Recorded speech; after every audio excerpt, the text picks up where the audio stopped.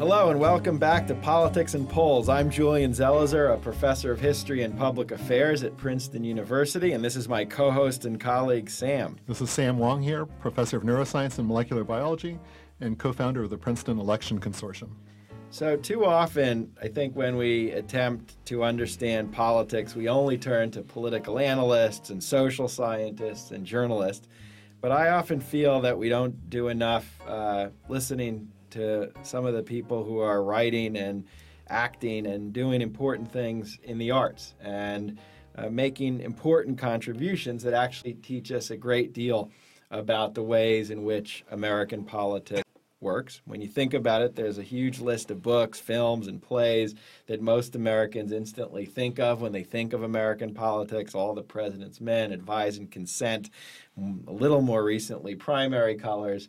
Uh, we're in a period where television seems saturated with work on, on politics like House of Cards and uh, Scandal, The West Wing, and even Homeland that open up conversations about the way politics works and uh, I think have a very important role, especially in a period where so many Americans are distrustful of what goes on in Washington. So the arts, I think, are a great way to force us to think in new ways about politics and to open up questions that might otherwise be too far out of the media box or the academic box. Uh, for us to think about. So today we're really delighted and honored to have one of the most important playwrights uh, and screenwriters of the current era, Robert Schenkkan. Robert won the Pulitzer Prize, the Tony Award, the Writers Guild Award. He's been nominated several times for an Emmy. He's written stage, television, and film. He's the author of 14 original full length plays, two musicals, and a number of one act plays. He co wrote the feature film uh, The Quiet American, and Hacksaw Ridge, a new film of his, will be opening in November. And uh, he has many television credits and he was also an actor in Star Trek, uh, which uh, is an important uh, moment, I'm sure, in his career that will keep on going forever, uh, given the passion of those fans. And, and finally, what we're here to talk about today is his very brilliant play, starred Bryan Cranston all the way, which focused on Lyndon Johnson, the Civil Rights Act of 64, and the 64 election, and was then made into a film for HBO. So, Robert, thanks for joining us. Thank you. It's great to be here. So, just as a quick uh, intro for those who didn't see it uh, in either version, the the play and the movie follows Lyndon Johnson. The first half is really about all the legislative battles that took place to pass the Civil Rights Act of 64, which ends desegregation in the South and the work that Johnson did with civil rights leaders, uh, trying to work through a series of compromises and tensions that emerged over the bill. And the second half is on the election of 64, where Johnson faced off against Barry Goldwater and ended up winning in a stunning landslide. And it's really a remarkable piece of work. I took a group of students there and they left talking to me about the discharge petition and the filibuster, the way they might talk about sports, uh, which really it was great. Uh, they were were totally engaged, which I'm sure many people felt. Maybe we can start, Robert, by asking you why you chose to write uh, a play about Lyndon Johnson and his approach to politics at this particular moment in history? I grew up in Austin, Texas, uh, the Hill Country, which is, of course, Lyndon Johnson's uh, hometown and his where he rose to power. And so he was always uh, a presence uh, in my life. My father had a, a very um, odd little personal connection with LBJ. My father was a pioneer in public television and radio, so a big shout out to your public radio fans out there. Um, he was hired by the University of Texas at Austin to come down and create the first public television and radio station, really in the Southwest. And job number one was to um, first get the permission of then Senator Johnson because it would have been a direct competitor with his own uh, media empire, or should I say, Lady Bird's media empire, because it was all in her name, of course. And uh, I'm pleased to say that he not only gave his permission, but of course would go on to sign into law the bill that created the Corporation for Public Broadcasting. So in my family growing up, uh, LBJ was, uh, you know, he was one of the good ones. And uh, I remember this election, the 64 election, the Johnson Goldwater election vividly. It's the first one I participated in, even as a very young student, and um, got to stay up late, watch the returns come in. And in the Manichean universe of American politics in 1964, it did seem like the triumph of light over dark. Of course, 18 months later, troop levels in Vietnam would have ratcheted up from 25,000 to 170,000, and my oldest brother would be nearing draft age, and suddenly I began to have a different feeling about LBJ.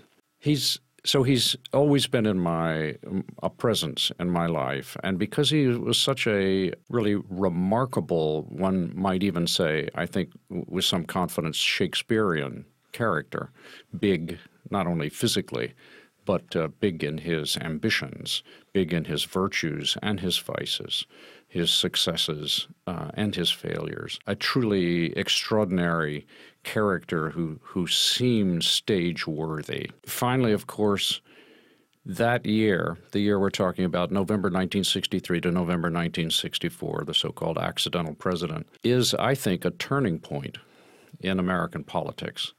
It is the beginning of a political cycle out of which I think we are only now just emerging. Joe Califano Jr., who um, was, of course, LBJ's chief of domestic policy says we live in the world that LBJ created. And I, I, think in many ways that is indeed the case. The political landscape of America changes in 1964. The South, which has been solidly democratic since Reconstruction, undergoes within a very short time actually a major realignment and becomes uh, a bastion of uh, Republican support. And this is uh, almost entirely a result of the passage of the 64 and 65 Civil Rights Acts. So I think Johnson um, and this year are a kind of um, origin story, if you will, for 2016. And uh, many of the issues over which the parties uh, argue so fiercely uh, actually have their origin in 1964. So it is uh, it's very useful as we try to peel apart these issues and personalities to go back and, and take a look at where much of this started. So, going back to that time, um, talking about 1964 and 65, in this election year, people talk about realignments and about uh, changes in, um, in, in, in the, how voters deal with the Republican and Democratic parties. But 1964 and 65 was cataclysmic, and you in in all the way you captured that a little bit when you look when you explore the dialogue between Eastland, Russell, uh, Dirksen, Johnson, Humphrey, all these figures. These are people who are remaking the American political landscape. And so when you hear people talk now about changes, uh, when I hear you talk about 1964 and 65, that feels heroic. And I, I can't help thinking that the changes that we have now are, are pretty small changes against this big remaking of the landscape. Well, um, you know, that's a, that's a really interesting idea. I think that um, whether the realignment that we're seeing uh, measures up in some sort of moral equivalent to the realignment in 1964, uh, the big change there, of course, was the enfranchisement of those who had been disenfranchised uh, since Civil War. Um, it is the, the death knell of Jim Crow. And um, the the backlash to that, to these major advances in civil rights, which include the 64 Civil Rights Bill, which was public housing, public accommodations, schools, and the 65 Voting Rights Act, and then in 68 the Housing Act. Um, the backlash to that uh, would be very adroitly capitalized upon by the Republican Party, the so called Southern strategy. So efficiently and so quickly would that change happen that by the time Hubert Humphrey runs for election for the president in 1968, uh, I believe he only picks up one Southern state in that entire election. That's a that's a, a watershed moment. We're not going to see that uh, in this election, but but the electoral map is changing and is changing in significant ways. First, in the South, again, uh, as we're seeing the Democratic Party claw back uh, states that it has never held for the last 50 years Virginia, North Carolina, Georgia might be in play. I don't know. There's no way that Hillary will pick up Texas in this election, but, But the numbers. close. But the numbers are. It's close, but it's close, and um, that's that's really fascinating. But uh, what's a little unexpected is the Democratic loss in the Midwest um, states that typically had voted uh, Democratic very reliably are not so strong this year. Is that presage? Is this just a momentary event, uh, only going to be true for this election, or does this presage something more long-standing? It's a little hard harder to parse that out. So one thing that's similar this year compared with the time that you describe in All the Way is um, the presence of race as a topic. And this is a year when a lot of those things are present. And if one looks at the arc of political history, there's a lot of talk about political issues, states' rights, and other things. And I guess that's anyway. But it strikes me that there's this thread that begins in 1964. And if you look at year-on-year change, the year you're talking about is the uh, we've talked about in this program before the single largest rearrangement of the states in the last 50 years. 60 to 64 is just there's nothing like it in American political history. And so it feels to me like there's there's something that in fact is uh, our year this year is is a descendant of the time that you were writing about. Oh, I don't think there's any question about that. Uh, race as an issue, of course, has never gone away in the United States. Um, what was uh, a, a very kind of blunt conversation in 1964, the f- forces of backlash or resistance became uh, more shrewd and sophisticated. And um, so discussion of race became codified. You no longer talked disparagingly. Well, I'm, I'm saying all this leading up to 2016, of course, where things change. Um, but you historically, um, you never talked disparagingly about African Americans. What you talked about instead was crime. You talked about drugs. Uh, you talked about law and order. These were all the dog whistles. Everybody understood what you were talking about. You know, this is the Willie Horton ad, and uh, and this was very successful.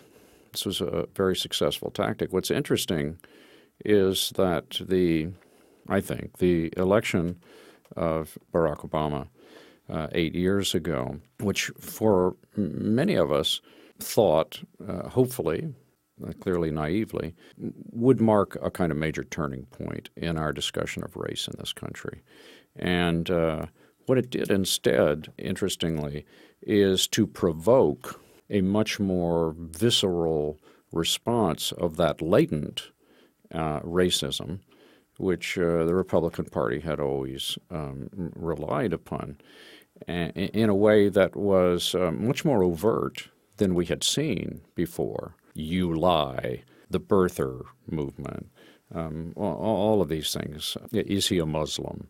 Uh, and you know, you would see major Republican establishment figures do this little dance of, well, I don't know that he's not a Muslim, or I'm not, I don't know where he was born. You know, uh, all of the wink and a nod. And what what Donald Trump has done is um, tear the fig leaf away from even that kind of wink and a nod. Uh, it's no longer a dog whistle; it's a megaphone. Um, and um, what is uh, shocking and, and of course, uh, disappointing about this election is the response that that has uh, engendered. I don't think he's created this constituency. I think he's given it voice. I think he has validated the public expression of what heretofore had been uh, thought of as an indiscretion, as impolite. And he's made it possible for people to feel that is indeed okay to be racist or anti Semitic or nativist. Well, if you look at the amount of support that Trump is likely to get, he has a minimum floor of support in polls that's around 40, 41 percent. And it seems likely that he's going to get that much. And if you go back to the 1964 election, uh, Goldwater got around that much. So going back, 38%, I think. was it 30, 30 I thought it was something I think like it was certainly about comparable. And I guess, uh, is it your general feeling that a major sentiment in the 1964 election was being against the Civil Rights Act? I mean, if you think about like reasons people supported Goldwater, was that was that an explicit subject on people's minds? And maybe this is for Oh, I, th- I, I do think it was. I don't think it was the sole issue by any means. Uh, Goldwater's brand of conservatism, you know, which uh, was was a really hard-edged expression of the Cold War, um, which had seen its adherents and proponents ever since World War II, 1943. That was very much also a part of what Goldwater w- was advocating. And today, while there is no question, there is no question that these elements are a part of the Trump demographic. Um, I believe today the Klan newspaper officially endorsed Trump. Um, oh, so he got a newspaper endorsement. That's the, that, that's the, that's the first one. That's the first one. Uh, of course, they're behind. They're a little bit behind the eight ball because David Duke has always been in favor of Donald Trump. But but I think it it um, it would be a great mistake to uh, completely dismiss uh, the entirety of Trump's support as purely xenophobic, uh, nativist, racist. Um, there is, in fact, within that, a group of Americans with a legitimate set of grievances who, who have been left behind economically and who feel and who feel that they've been left behind and disparaged. And uh, their grievances are legitimate. Both parties have failed them, the Democratic Party as well as the Republican Party. And um, and I uh, am hopeful. I certainly believe that uh, Hillary is aware of this and sees that as an issue and will move to address it legislative, legislatively and promptly upon election. Let me turn to a different issue. The, when you see the play or read it and uh, watch the film, one of the issues that comes through, and, and I assume you intended this, it's a play about compromise. And you see all the different characters wrestling with the very difficult compromises they had to make. You see Johnson uh, certainly with how to package voting rights and leaving certain things out, which he knows liberals will be angry about, uh, and also angering Southerners. And you see King, who is uh, making a big compromise at the Atlantic City Convention in the summer of '64 with the deal over the Mississippi Freedom Delegation. Uh, it, it, it's it's an unusual theme for a play. I mean, I think I always think of the arts as being more interested in idealism, uh, and so it was striking. And uh, you you have that great line. It's not about principle; it's about votes, which Johnson yells out at some point, trying to explain why he's getting rid of some stuff. Was that part of what you wanted to look at with this, and uh, how did you think about why that was something that's necessary. Uh, very much so. Very much so. The, the the play is a is a look at real politics. Uh, you know what Bismarck described as uh, the sausage making of politics. Part of part of my feeling that this is necessary is that I feel like too often today politics and politicians are just uh, routinely in a kind of knee jerk way dismissed as without principle because they compromise, because they change their positions. And, and this is an incredibly naive uh, view of our political system. It's a representative democracy. It's a two party system. We are not a monarchy. We are not a dictatorship. You can only legislate when you achieve a majority, and it is almost impossible to achieve a majority without crossing the aisle. And for 190 years, 200 years, this was not thought of as a bad thing. Indeed, it was thought of as how you got things done. And uh, some people were better at it than others, and, and they were the people you paid attention to. And it is only in the last uh, 10, 15 years and the hardening of uh, ideological positions within the parties, the diminution of both left and right wings of the parties, that you see this uh, emphasis on the ideological purity that one must never compromise, that to compromise is to violate everything. And uh, the result of that, of course, is uh, gridlock. The result is that nothing gets accomplished and um, and the electorate gets increasingly frustrated and and increasingly comes to believe that government doesn't work and cannot work, and uh, and you create this loop feedback cycle of negativity uh, about what is possible, what is practical in politics, and so the play is very much an attempt to explore how politics worked in 1964 in the passage of what was, I think, inarguably, one of the great legislative victories of the 20th century. It did not come easily. People gave up things that really mattered to them and mattered to their constituencies. And, and some people lost their, their political careers as a result of that. To me, that is the truest expression of principle that you are willing to give up something that is dear to you in order to achieve something that is greater for the public good. And, uh, and in 1964, we saw a lot of that. But I, I wanted to make clear to an audience how painful, how challenging, how frustrating, how complicated a process that is. And uh, I think, you know, one of the greater compliments the play has received among many compliments is is from the political class themselves who who feel regardless of their ideological or, or party alliance that that the play gives an accurate portrayal of how things get done. I mean, it also comes through. It's funny. Everyone focuses on Johnson in the play, rightly so, but it comes through with King. I think a lot. I mean, a with the struggle that you see between him and the various activists who are losing a lot of their confidence in him as he's making Johnson-like compromises, and then as his own personal life starts to suffer because of the FBI going after him and some of the costs he will incur for doing this. I don't know. I found that a very compelling character for this theme. Well, um, um, thank you. Um, I am very proud of, of what we were able to achieve in this regard. I think it's an aspect of Dr. King that uh, has not really been um, very well articulated or understood. You know, when people think of Dr. King in this country, they think of the orator or they think of the martyr.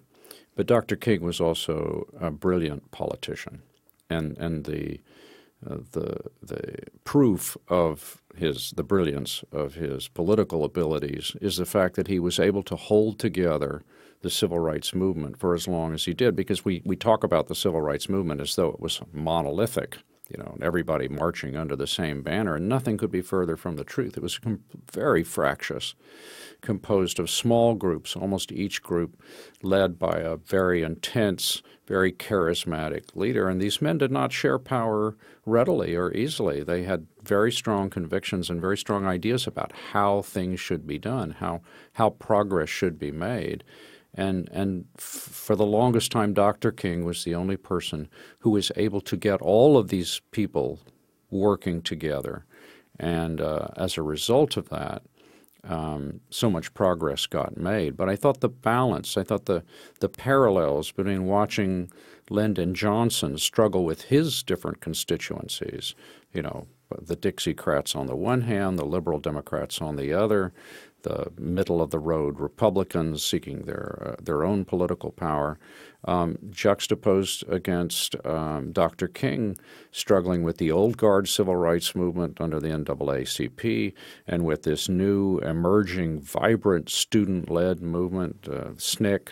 Uh, Bob Moses, Stokely Carmichael, who were getting increasingly frustrated at the lack of progress and increasingly disinclined to adhere to this notion of nonviolence. And uh, and of course they will eventually, tragically, um, the alliance will shatter, and uh, and and out of that will emerge the Black Power movement. But for that movement remained unified for as long as it did, largely by the result of the brilliance of Dr. King. One thing I noticed um, is that unlike other political dramas, and I I won't mention them at the moment. I get this feeling repeatedly in all the way that you're using actual events and procedural maneuvers. There's this one moment when Johnson is imparting an insight about this unprecedented move to get something put on the calendar. And it just strikes me that there are many political dramas where one would not have a procedural maneuver get raised up to the level of high drama. But I'm, you know, I'm reading this and I'm thinking, wow, that's great, Johnson, you're brilliant. Because you know, I just say that I spent a year working on Senate staff, uh-huh. and, and and I saw some of these maneuvers, and uh-huh. it just it's it was fascinating for me to see a procedural maneuver stuck in there as this moment of tension turning into, aha, Johnson's going to get that thing onto the calendar. And, and these played very, very effectively for an audience. They were both uh, very entertaining and, and, and educational. It was, it was fascinating to see. They totally understood because the personal stakes were so high, they understood the importance of the tactic being employed here. And it didn't matter that it was a legislative tactic, it was a stratagem that they could they could understand the importance of the stratagem and how that was going to unlock this particular problem. Right, but portrayed in a real way, as opposed to sometimes when political drama gets portrayed on television and in other forms of entertainment, the maneuvers don't seem all that realistic. I guess, I guess you had the advantage of having this canvas of, of events that you could pick from and say, okay, that's a moment. I wanted to talk about the Senate just a little bit more because it strikes me that in here, Dirksen and Russell play such major roles. And you know, when you go by the Capitol and you go by the Senate office buildings, there's the Dirksen building and there's the Russell building. Yes. Do, do, you think that people appreciate these pretty different monumental men? I and there I, they are next to each other. You know, yes, buildings. no, it's uh, yes, just as the FBI building is next to the uh, Bobby Kennedy Justice uh, oh. Building. Uh, another stark irony. Uh, you know, I would, uh, it, it's painful to say, but I would guess that the vast majority of Americans have no idea who these gentlemen were or what they did. Yeah, I mean, I think that's true from a perspective of a congressional historian. And I mean, the play is good, and I, I was surprised when I first saw it, but re- it was refreshing to see all these figures brought in. But certainly in Johnson's world, these were the giants that he had to deal with both coming to the presidency and once he was president. I want to pick up on something else that Sam was talking about with the discharge petition, but one of the things we're interested in the podcast is how people study politics. So, by nature, the way the show is structured is uh, a more quantitative uh, approach, aggregating polls and seeing what you can find from that versus what a historian does, at looking at big trends or important stories and moments. And when I saw the play the first time, I remember as I listened, I recognized uh, some of the uh, dialogue from actual tapes that I had heard. I had just written this book on Lyndon Johnson, so it was very much on my mind. And a lot of the encounters you talk about happen. Some are in the order they happen, some you jumble around. And you know, there's a lot of historians who get all worked up on any move away from the record. I, lo- I love that because I think it gives you a freedom as, as an artist to uh, tell stories about politics in a way I can't when you're limited. But maybe could you talk to us a little bit about you? You write lots of historical fiction, uh, fiction or whatever you want to call your genre. You're now working on a film on the KKK. Mm-hmm, I read about. So, how do you think about doing it? What's your process of putting the story together? Where you have to stick to the record and where you have freedom to maneuver? Well, it's uh, you know I'm always very careful when I talk about my work in public to to say up front that uh, I am not a historian and uh, I'm not a I don't make documentaries. I, I write drama um, that is often based upon historical event or set in period and, and deals with real events and real people. Um, it's not exclusively all I do, but it is very much a large part of it. So, how do I, what is my approach to this? Well, I, I try to educate myself in a very serious way. I mean, I, I start off by acknowledging that I, I don't know that much about this event and that I, I need to learn. And so I, um, I dig, I cast a wide net for all the way uh, that would mean reading virtually all of the major biographies uh, about uh, LBJ and at least one biography of all the major figures that the play touches upon. There's an enormous amount of uh, newspaper articles. This is the heyday of newspapers, magazines, Time, Life, Newsweek, Look. All of that is readily available to the historian, amateur, and professional alike. Lyndon Johnson also taped uh, many of his phone calls, um, often without the knowledge and permission of um, people he was talking to. And those tapes are now available to the American public free of charge the University of Virginia is digitizing them, and you can you can listen to them online, and it's fascinating. You can go on and listen to Lyndon Johnson complain to Richard Russell about Vietnam, or Lyndon Johnson um, asked FBI Director uh, Hoover, "How do you tell when someone is gay?"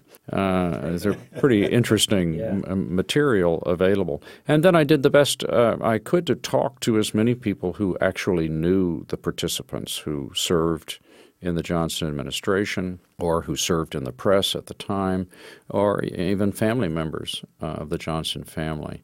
Uh, so a wide net, as I say. And then very quickly, I am uh, narrowing my focus down to the story I am telling and the issue uh, which lies at the heart of that story. What, why this story? What's important about it? And um, what is the what is the theme here? What is this about, really? Why this? Why am I telling this story? And everything gets filtered through that lens. If I'm writing, uh, let's say, a play uh, all the way, you know, I I, I have a very narrow uh, field on which to operate. Uh, my audience will sit for, you know, maybe two hours, and and then uh, I can't push it much much beyond that. So what that means, of course, is that I must be incredibly selective. I'm going to leave out big chunks of things right from the beginning, and the minute you start leaving things out, well, you're altering the record you're changing things.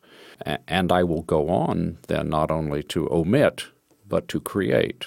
Uh, sometimes that means uh, using bits and pieces of real dialogue, like you alluded to, in an otherwise fictional scene. But more often than not, it's me writing in the voice of, or creating scenes that never happened, or putting people together who weren't necessarily in the same room at the same time discussing this. All of that uh, is, uh, to my way of thinking, part of the game that I play. What I cannot do, and, and this is the, the one rule that I have made for myself and I, and, I, and I truly honor, is I can't have somebody say or do something that is intrinsically antithetical to who they were. That's, that's the one rule. But beyond that, as an artist who is creating art, fiction, sky's the limit. Yeah, just um, thinking about that feeling that you want to capture, both the not being antithetical to an individual, but also capturing the mood.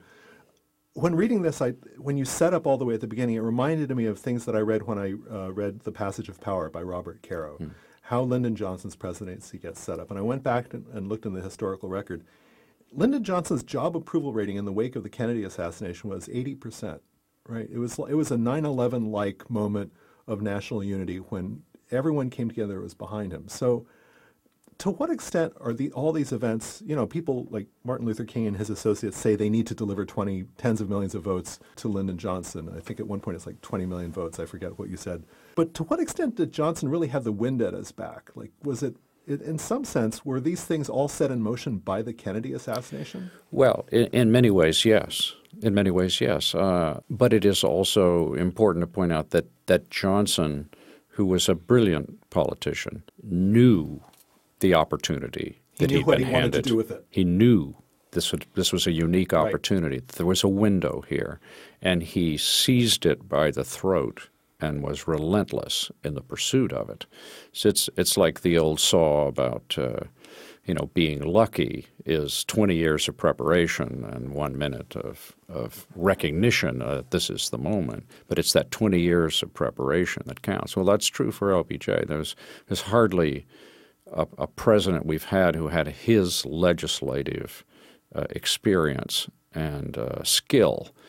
So he recognized that um, that uh, this moment of unity was not going to last, and he certainly he certainly wrapped himself in the mantle of the dead president. Everything was about uh, fulfilling the legacy or honoring the legacy of President uh, President Kennedy, and I, I think it's worth pointing out that you know it had taken John F. Kennedy three plus years to finally propose a civil rights bill after all the promises he had made. And then it was immediately stuck in committee, and there didn't seem any chance that he would have gotten it out. And I don't think he would have. I don't think he could have. I think it took a politician uh, with the legislative caliber of a Lyndon Johnson to do that. It's also important to point out that uh, that he had a very substantial majority in Congress. And, uh, and after the election in 64, that margin of victory would be even greater. And that gave him a period of two years until the midterm elections in 66, where the party suffered uh, serious reversals, where he really had an opportunity to make change. And he did. Boy, did he make change. I mean, it's you're hard pressed to see another period in the Congress where it was so uh, successful and productive. Right. We haven't even mentioned Medicare. All right. Oh my goodness. There's Medicare, uh, Medicaid, immigration reform, um, environmental conform, consumer reform. I mean, the, you know, there's a here's a here's a single story about uh, Johnson and, and how he operated. Uh, he expected all of his staff to be available to him 24 7 seven. Uh, you just there was no you had no excuse for not being available. And he was one time the one time he could not reach Joe Califano Jr. It took him 12 hours. He was furious by the time he got Joe on the phone. He said, "Where the hell have you been?" And Joe said, "Well, I my son." Got into the medicine cabinet and swallowed a bottle of aspirin, and we've been at the hospital getting his stomach pumped out. And immediately, the tenor of the conversation changed. John said, "Oh, that's terrible. That's terrible." Is he going to be all right? And he said, yes, I think so. And Johnson said, you know, that's there just shouldn't that shouldn't happen. You know, there sh- there ought to be a way to where where kids can't do that. And within a month, a bill was sent to Congress mandating child-proof bottles, bottle caps, uh, and was passed.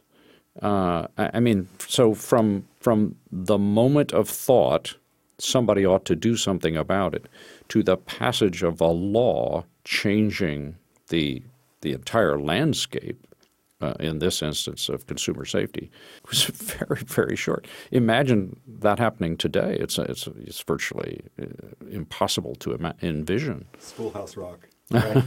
I mean, we're almost out of time, but I can't leave. Uh, we can't leave without asking about the current election. So. Uh, in addition to being real friends, we're Facebook friends. Uh, and I've been, you know, reading. You have a lot of posts. You're clearly very invested in this election, and it comes after spending years and a lot of time in '64 uh, working on that period and working on those issues. How do you see this election uh, relative to this great piece of work you've done on what happened 50 years ago? Well, I, I do think it's a, it's a similar turning point.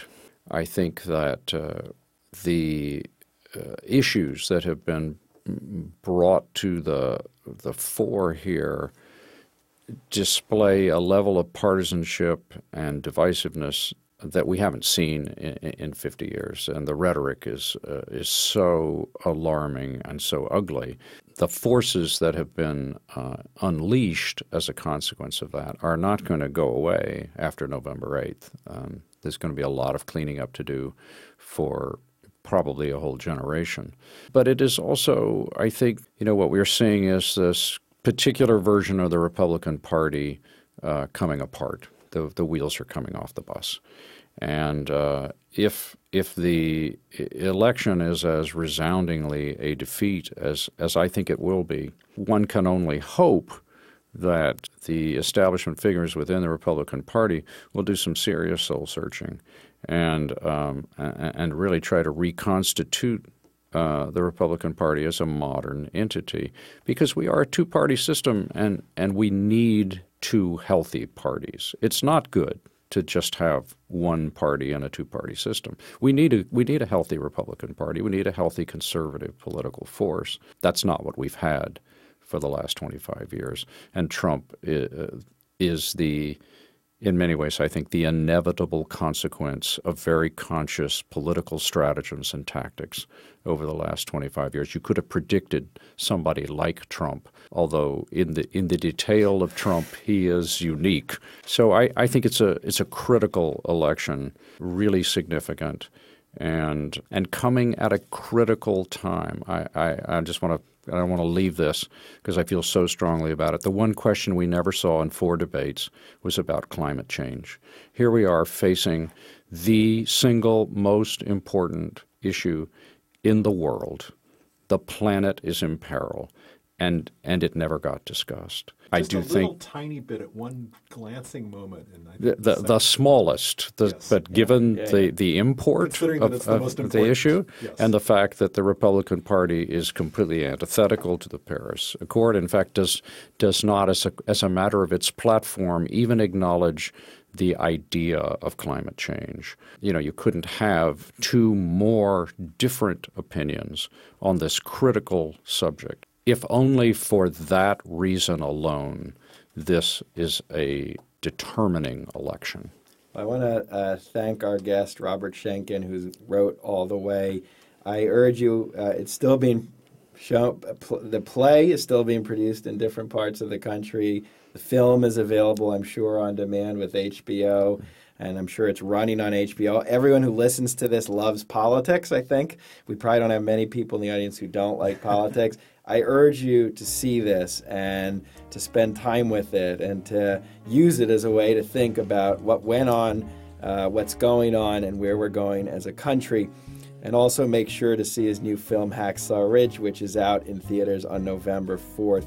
So thank you, Robert, for joining us. Thanks. Great to be here. That wraps up our episode. Thanks for joining us, and we'll be back soon on Politics and Polls. Take care, everybody.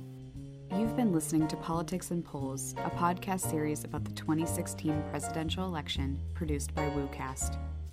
The content discussed in this podcast is intended to be informational only. It does not represent nor reflect the views of Princeton University or the Woodrow Wilson School of Public and International Affairs.